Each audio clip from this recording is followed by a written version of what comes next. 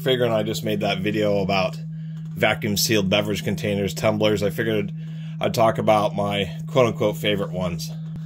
Favorite dozen of these. I've had a bunch over the years just because they're super popular. It seems like in the last 10 years they've really started to take off these stainless steel double wall containers.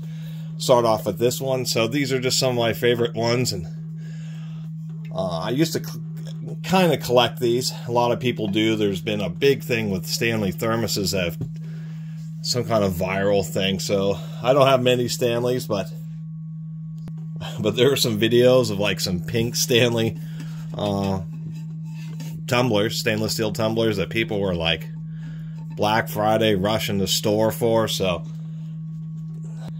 I just kind of like these Stanley double wall ins vacuum insulated uh, pint cups. Got three of them and it's just a standard cup. They're actually not bad. Thermos is who really popularized double wall vacuum insulated, semi vacuum insulated containers all the way back in like 1903 or something. That's where the Thermos brand came from. They didn't invent this type of known as a flask. Somebody named Dewar did for cryogenics for holding things like liquid nitrogen, helium, that type of stuff. But some German brothers started a Thermos company because they realized more than a century ago that it works great for beverages. So these things have been around forever. Stanley has really been their brand has been known for the big green, you know, glass internals. Uh, you know, traditionally called a thermos, the big vacuum flask. So it's neat to see how far they kind of. There's various sizes of these for tall cans. This is for standard 12 ounce cans, but they have these little vacuum flasks. Some have threaded. Some brands have threaded tops. Some have, like this Zak has a just a kind of a big thick silicone piece, which I like better. Holds the can pretty well, and that's the whole point. Is just to keep a canned beverage colder or, or in some cases warmer for longer. And I thought that's kind of an innovative, uh, newer idea for vacuum flasks. Million different brands. This is a Hydro Flask brand. I kind of like this uh, as a general purpose coffee mug. I always thought this is kind of the more job site one because it has this over mold on it that's like uh, semi soft, flexible, um, and I thought that would just protect it. This thing would really last as beating around in pickup trucks and falling off of tables and that type of stuff just with that heavy duty overmolding. It actually makes it a, quite a heavy cup. I saw for a heavy duty contractor grade uh, little coffee mug tumbler. This is actually a pretty durable design with this, you know, big plastic boot that or rubberized kind of in between hard plastic and rubber, but this big boot protective boot. There's the one I decided just to do a dedicated video. I thought I had, but I didn't before. It was this uh, uh, B Bottles one. This is the most overbuilt one I've ever run into. Forgot to mention in another video that it's really heavy, extra thick wall. This one has double seals in the lid, like stainless steel fasteners. Little detent for the handle. Like none of them have detents. And then it has this whole section that unthreads up the bottom, also double sealed. That's for putting tea and berries for like infusing water, but it's the still the craziest water bottle I've ever seen like this. Much more expensive to include all the double sealed design. This whole bottom portion. It's more expensive to make the bottle have threaded ends and necks at uh, both sides, but certainly makes it easier to clean up. There are heated ones. This one is a 14 ounce. Over the years, there have been various heated tumblers, but this is probably the most elegant design. It just has this piece that sits in a cup holder. I have a there's a USB C, little USB C cable, plugs into the bottom, wraps around this channel, so it'll slide down into the cup holder. I don't believe it is vacuum sealed, but certainly double walled because we have stainless steel interior, hard plastic exterior, and then there's some pins that contact these uh, terminals at the bottom. So this is just plugged into a USB power brick or into your a port in your car. And then when you put down the cup, you just put it in and it actually is designed to lock into the base, but you can just set it down and just give it a twist to make sure it drops down. And it'll actually keep your beverage warm. And I like the fact that it's this whole separate unit, which is easier to wash.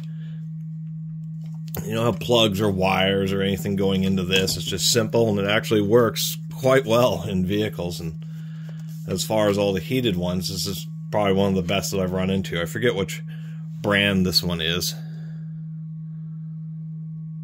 something. I can't even read it. I do have a couple novelty it's not really a tumbler. This is one of those novel super novelty uh, 64 ounce whiskey flasks. I mean, if you're going to do with, I mean, it's a completely sealed stainless steel flask. It's a real flask. It just is a massive 64 ouncer and still is hilarious. If you're going to do whiskey, might as well do it out of a 64 ounce flask and that is not double walled. That, and as far as like regular tumbler, water bottle tumblers, I know that the SIGG brand, the Swiss ones, have been a name for water bottles for a long time. Really well made. Um, usually sold at like camping stores and stuff. And I don't know about this copper or brass. I don't know if that's an antimicrobial thing. A lot of people don't wash their water bottles enough.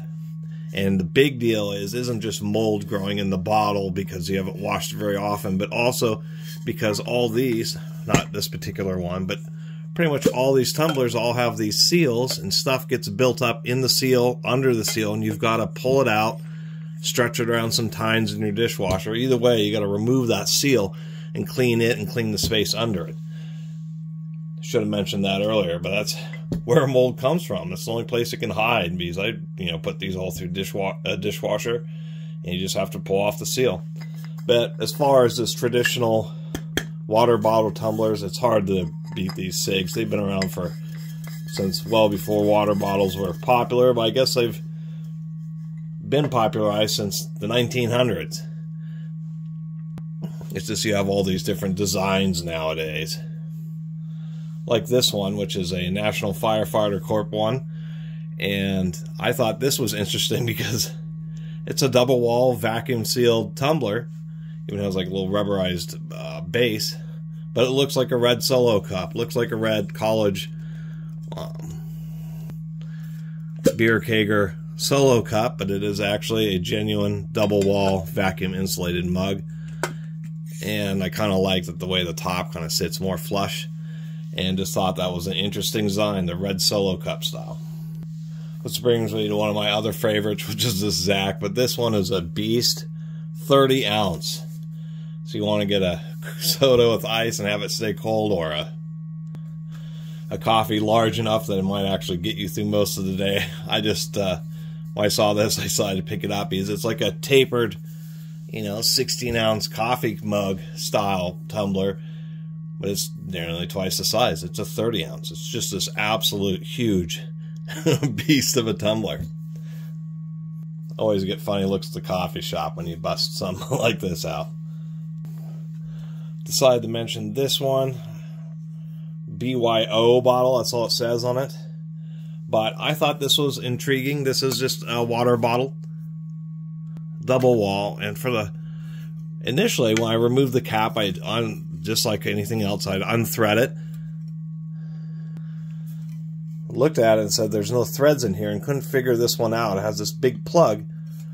This is actually because it's like silicone. It has like some kind of plastic peg that it is slipped over and when you put it on and you kind of hold the plug and you twist the cap, it causes that peg to expand and now the lid is locked on. So it's actually this locking friction fit lid.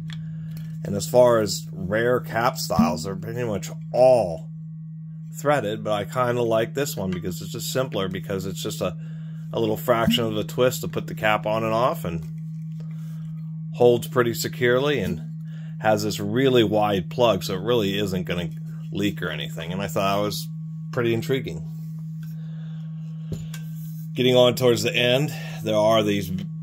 This is a 64 ounce. They make even bigger tumblers.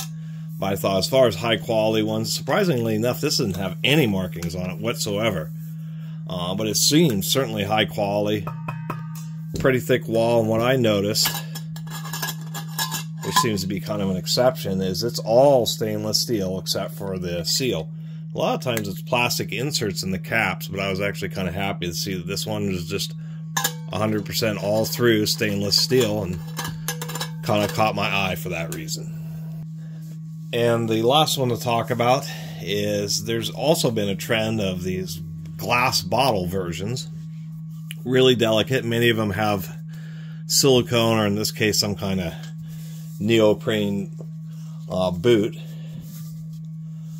But this one kind of set itself apart. I thought was pretty premium because, as we can see, it's double wall glass.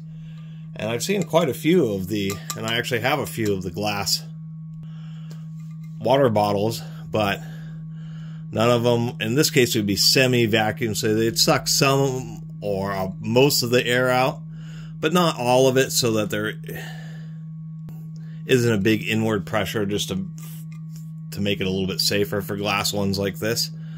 But thought, wow, this one definitely is going to work. It doesn't even have anything touching at the bottom. It's all suspended at the neck stainless steel ring, and this also set it apart as that's a genuine glass lens in the top in the lid, and somehow they've just sealed it around the lip at the top. I don't know what this little internal ring is for, but I thought as far as fancy water bottles are concerned, uh, double wall glass with a glass top lid. This one seems pretty fancy, and all it has is this kind of I don't know what that is, if that's a brand name or what. I mean, it is silk screened on there, so that must be the brand name, but just thought this is probably one of the nicest glass ones I've seen, especially considering that it has this boot that it comes with. Anyway, really appreciate everybody who's been watching, especially my weird videos talking about my favorite vacuum tumblers. See you next time.